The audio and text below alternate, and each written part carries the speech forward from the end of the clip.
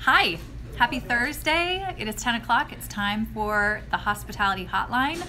If you're joining us live, please remember you can submit questions like right now in the moment, and I will answer them on the fly to the best of my ability. If you're watching this after the fact, also remember you can submit questions um, on any hospitality topic um, anytime through our website. You can DM me, you can comment, you can send a carrier pigeon. Just give me your questions. This is the most fun. So, this week we are talking about dinner parties. And when I threw this topic out, I knew that I would get some good questions. And the ones that I have today to answer are fantastic because they really are going to allow us to talk about the heart of a dinner party. Even though I know, I know we need to talk about the logistics of a dinner party, but that's a different subject for a different platform. I'm taking notes, and I can tell by the questions um, I have some ideas on some ways for us to learn how to do dinner parties together. But today, I'm going to answer four questions about dinner parties and I'm not going to use names, so I want to remind you that these questions will always be anonymous so that you don't need to worry about your identity being, you know, posted online. Okay, question number one. I always have such a hard time knowing how much food to serve when hosting a get together or dinner and end up with a ton of unwanted food. How do you know how much food to serve? Such a good practical question because among other things, a dinner party is about serving dinner. So, right out of the gate, there are just some rules, like some wisdom that I want to throw out. That number one, I would never serve something at a dinner party that you have not made before. Because uh, here's what I've learned just in cooking and specifically in the last year cooking all of Ina's recipes. I've learned that when one recipe says serves six, like serves six what? serves six mildly hungry adolescents, serves six gorillas, serves six, you know, men who want seconds. Like, serves six is not a helpful thing for me. And I learned about Ina that most of her yields are grossly underestimated. She would say that a batch of soup serves six and it would make, you know, six quarts. Well, a quart is not a serving. So don't don't serve something that you've never made. And so the way that you're going to judge how much of something to make is because you've made it before and you know how much it yields and you have a frame of reference. Apart from that, the next thing you want to consider is the gender and age of the people at your gathering. Are you serving women only? Are you serving men and women? Are you serving young children, they eat less. Like all of these dynamics kind of play into what a serving size is. So you do need to give some thought to that. But more than anything, apart from getting like clogged up in the math of the whole situation, I want to encourage you to throw the party. Throw the party. Feed your people. And it's important to consider the food and the quantity and all that, but I see a lot of people get really hung up on trying to sidestep the perceived inconvenience of having leftover food. You're to have leftover food. You you are. A dinner party is not the situation where you want to run out of something because if you're serving 12 people for dinner and you only have 8 brownies, you're either going to have to get crafty and give everybody half a brownie or someone's not getting a brownie. You don't want to you don't want to run out of food at a dinner party. Now, a get together, a baby shower, um, maybe a book club. If you run out, then you run out. Like it's fine. The, the dynamics are different. But a dinner party is you have invited people in to eat a meal, and they're expecting, you know, to eat dinner. So you don't want to run out of whatever it is that you're serving. So embrace the idea that you are going to feed your people Embrace the idea that, yeah, you may need to make a double batch of something so that if someone wants seconds, you can say yes. And that comes with the reality that no one may want seconds, and you may have an entire extra pan of potato casserole. That's just part of the territory of throwing a dinner party. So let's shift our mindset a little bit and shift our hearts to do whatever it takes to feed our people and never serve something that you've never made before. Um, next question. I'm going to read this in its entirety and then I'm going to answer it as two separate questions because I really think it's two separate questions. Here's the here's here's what it says. What is the easiest, prepare mostly ahead of time dinner party meal? People are supposed to arrive in 15 minutes. There's dirty dishes in the sink, the dishwasher needs to be unloaded, you still need to take a quick shower, and there's a little kitchen prep work to be done. What do you do first? I genuinely think these are two questions, even though they were smashed together like one. So I'm, I'm hoping these are two separate questions. What's the easiest? Prepare mostly ahead of time dinner party. Okay, here's what you're looking for. You are looking categorically for things that can hold, assuming you're serving a hot dinner, excuse me, got choked up. You're looking for something that can hold and is not going to require last minute attention.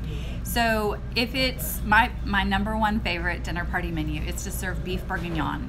It is elegant, it's delicious, it's kind of fancy because it's French and it's beef but you make it the day before, you heat it on the stove, you put it in bowls with crusty bread, and that's dinner. It's it's amazing. It tastes amazing, it looks beautiful, and it's super easy to hold on the stove until you're ready to serve. In that same vein, casseroles like lasagna or other kind of pasta bakes or things that can can be cooked and then like kept in a really low oven without drying out, those are ideal. Also, if you have been following along and doing the roast chicken challenge, then you know that roast chicken can sit and rest for up to one hour and still be piping hot before you carve it. I would say roast a couple of chickens and time it so that you're taking the roast chicken out of the oven when your guests are set to arrive.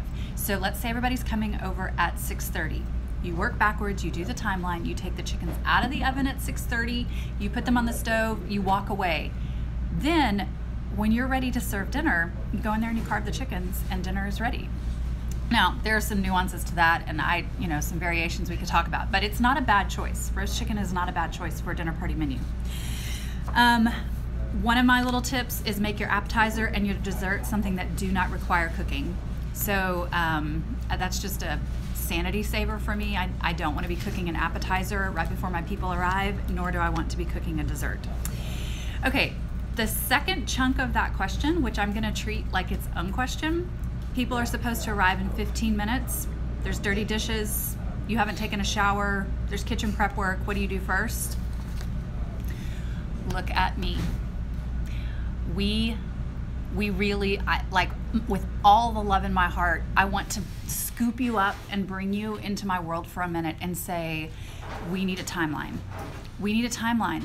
You like if all of those things have been smushed into the last 15 minutes before your people arrive we need a timeline. There's I could talk for an hour on this about how the logistics of dinner parties work. In fact, I have taught a class on this dinner parties start to finish. Number one rule I don't care how much this seems counterintuitive. The first thing you do on the day of a dinner party is you get up, take a shower, you get yourself completely dressed, fully haired, fully made up, made up.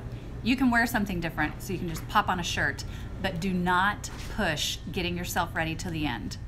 From 20 years of experience, I will tell you that's a mistake every time. I never regret the decision to get myself ready early in the day.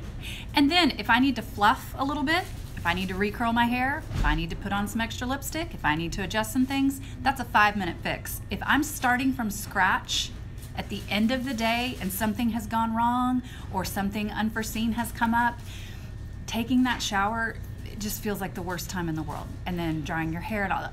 Get yourself ready first. Try it next time. Prove me wrong. Get yourself ready and see how that goes. Run that dishwasher and empty it two hours before your party starts. It's the best gift you can give yourself to start a dinner party with an empty dishwasher. Um, reduce that last minute kitchen prep to as little as possible, kind of what we just talked about. I, I would never choose a menu for a dinner party that requires me to be in the kitchen last minute because a dinner party is meant to be time spent with others eating dinner. So I, I tend to say um, reduce that, change your menu. If you're in the kitchen last minute, let's choose something different. Um, and then finally, like I just, I want to, uh, I really want to emphasize again, the timeline is your best friend. I, I get out a piece of paper, I tape it up on my kitchen cabinet, my my children have seen this their whole life growing up. if we're having a party, there's my timeline's on the kitchen kitchen cabinet taped, and I'm crossing things off. And I start at the end and work backwards. So start at seven o'clock. People arrive. Okay, start working backwards time wise so that you have a realistic timeline of what needs to happen and when. I hope that helps. If you have more questions, I'd love to hear your follow up. Okay, question three. This is a great one. We're gonna get boozy. How do you know how much alcohol to serve at a party? I always get it wrong. Such a good question. Um, and I'm going to assume always get it wrong means you don't have enough or you have too much. Those are probably the two sides of always get it wrong. There's the technical answer to this question, and then there's the realistic answer to this question. So let's start with the technical answer, which is um, a bottle of wine has five glasses in it, and an ounce of liquor is one serving. And wisdom tells us that per person, it should be one drink per hour per person. That's the technical answer. Never in my life have I seen people pour um, five ounce glasses of wine when left to their own devices. Unless you're giving them really small glasses, which would keep them from pouring more, most people, you've seen the oversized wine glasses and the goblets and all that. Most people exercise healthy pours. so if you're gonna do any math, I would say it is four glasses for one bottle of wine.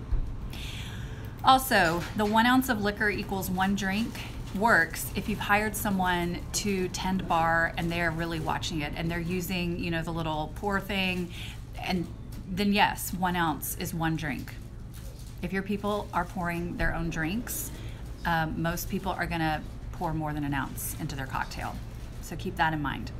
Now, that being said, um, kind of like the answer to the food at the dinner party, you don't really want to necessarily run out of alcohol at a party if it's a particular kind of party. Now, if you're having a couple of people over, I don't think you're describing like a I don't know, like a small group gathering. I think you're talking about a party. Like you're throwing a party. It's either a Christmas party or maybe a baby shower or a couples get together or something where there's a lot of people and a lot of alcohol. I'm going to tell you the number one um, game plan that I tend to hold to when I'm entertaining large groups and there's alcohol involved is to limit your choices. You do not need to be all things to all people at all gatherings. The larger the gathering, the simpler the choices need to be because you can go deeper on those choices instead of having to have enough of everything for everyone to have all the options for the entire party. You're not a liquor store. You're not a um, I, I don't know. You you need to like hone in on what it is. My my go-to is I love to have champagne because it's festive, it's classic. People who are looking for white wine are usually fine with a champagne or a prosecco. I usually serve red wine. I like red wine. I think most people like red wine. It doesn't have to be chilled, it can be stored and served at room temperature. And then if you're going to serve a cocktail, limit it to one. If you're gonna have um, something like a mixed drink like mojitos or margaritas or some sort of I'm blanking, but some sort of like a whiskey sour or something like that. Make them ahead in batches, have them in what you're going to serve them in, and then when those run out, they run out. If you're doing an open bar situation where you're going to have a bourbon and a vodka and a rum and a mixer and a club soda and all the limes, now you're getting complicated. Now you need to make sure that you really do have like what if everybody wants a vodka soda with lime? Do you have enough limes? Do you have enough club soda? Do you have enough ice? beverages at a large gathering can become a huge undertaking. There's a reason people hire bartenders to manage this because it really can be it can be a lot. So, in the big parties that I've thrown, and specifically uh, when we were doing the INA project and we were having our VIP parties four times over the course of the year, and we would have 30 to 40 people who were coming to celebrate with us, we would have a big bucket with ice with bottles of Prosecco that we would kind of replenish from the fridge. We would have a station that had red wine and glasses. And then if we had a cocktail, we decided we're expecting 40 people. So we're going to make this many batches of this rum We're going to put it in pitchers. We're going to put it on the table. And when it was gone, it was gone. That way, you're not having to babysit the beverages very much. People have enough options that they can get what they like. Everybody can find something. You're not a bar. You're not a bar. You're there to just sort of give them something fun to hold in their hand and drink. That being said, never forget to include a really fun alternative for people that don't drink. Um, it's wrong to assume that everybody coming to your party drinks alcohol. Um, maybe they're not drinking because they're going to drive the group. Maybe they don't drink for a number of reasons. Maybe they're a recovering addict. Maybe they're pregnant and don't want to tell anybody. There are a lot of reasons why someone who you assume might have a cocktail chooses not to. And there's nothing worse than being the, the person at the party that's just got nothing to do with their hands. Topo Chico, is a great one. Something sparkly, just in a bottle. Love it. They can hold it. It feels fizzy. If they want to pour it into a cup with a lime, it looks like a cocktail. Always consider the option that someone there does not want to have alcohol. That's really anticipating need. So I hope that answers the alcohol question. Um, let me know if it doesn't. And let's move on to our last and final question. Here it goes. I love the idea of throwing a spectacular dinner party for friends, but I have a rather small kitchen and my dining table only seats four. Plus, my friends don't seem to share an interest in being the dinner party type. How can I get them as excited as I am about dinner party possibilities? Okay, right off the bat, I love throwing spectacular dinner parties for friends too. So I feel like we are kindred spirits in our wants and desires as it relates to this topic.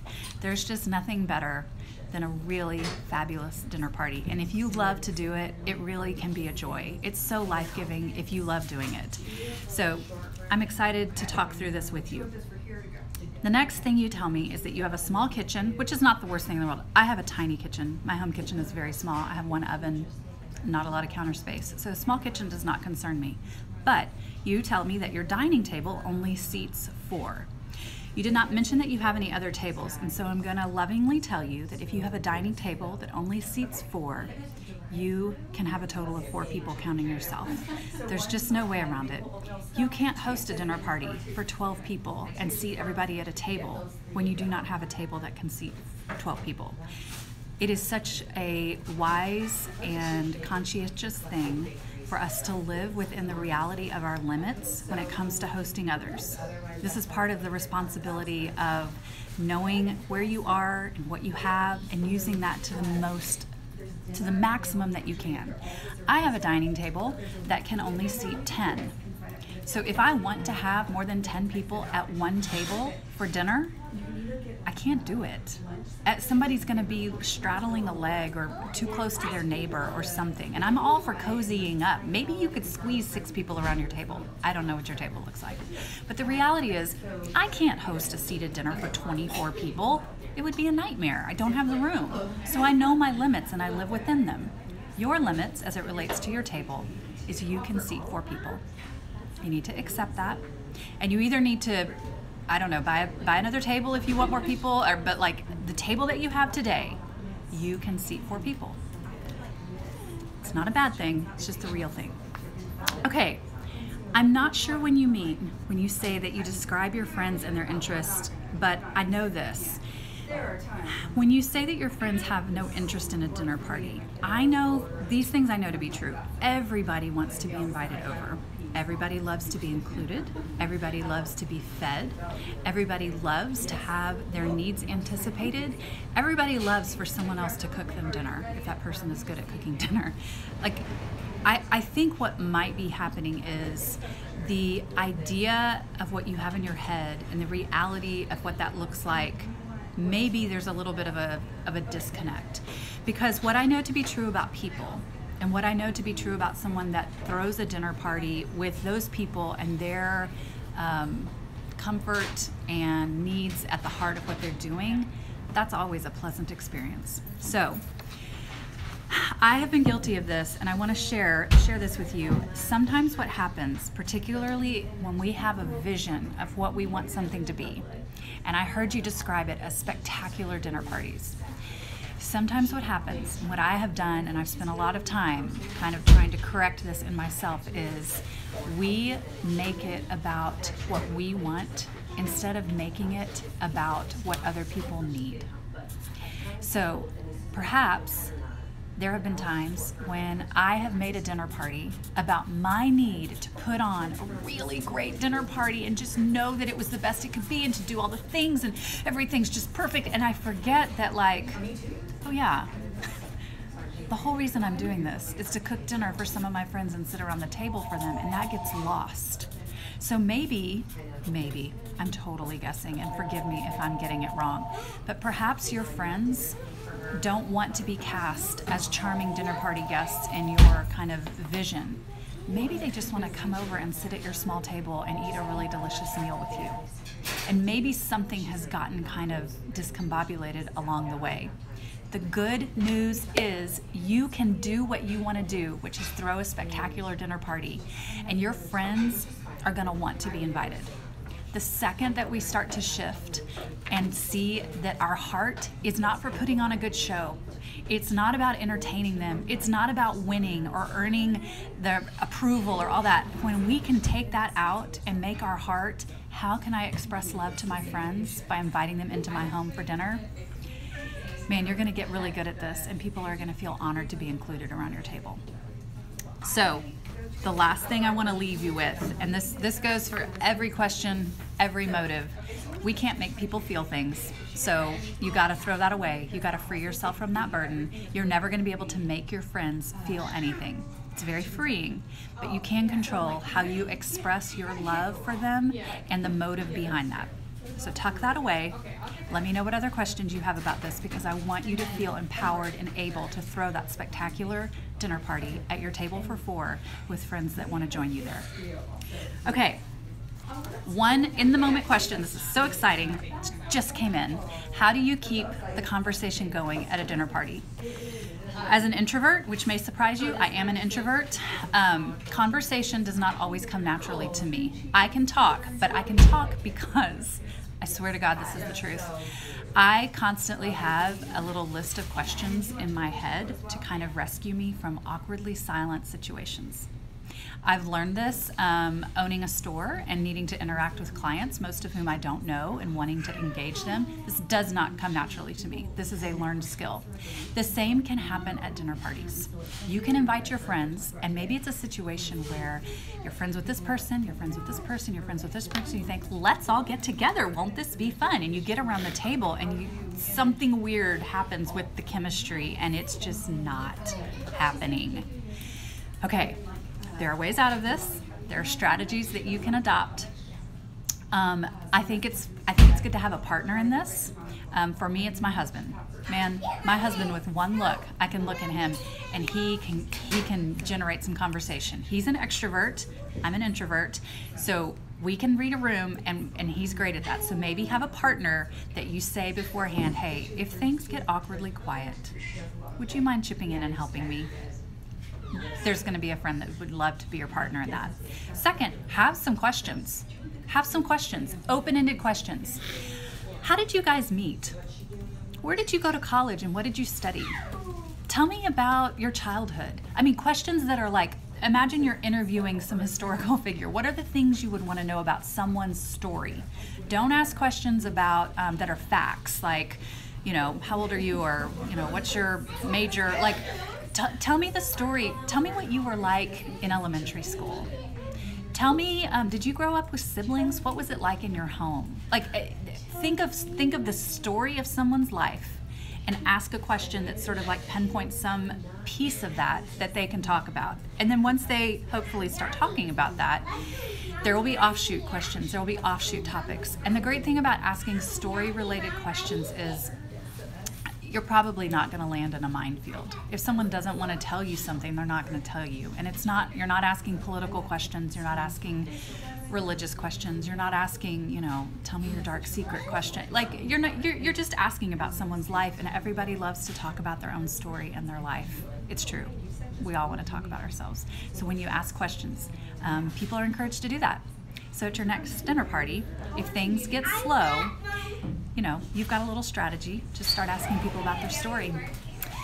This has been the most fun. I hope that this has sparked and inspired in you a desire to lean in and figure out the dinner party and how to do it I love a dinner party. I'm here for you. If you have more questions, send them my way. Next week, we're doing kind of a grab bag of questions that we've been collecting that are not centered around any specific topic. They're really good, though. We're going to dive in. So, between now and then, if you have any that you'd like to add to the mix, you know how to find me. Um, you can link in our bio to submit a question, go to the website, DM, comment, carrier pigeon whatever works for you. Thanks for being with here with me here today. Can't wait to see you next week.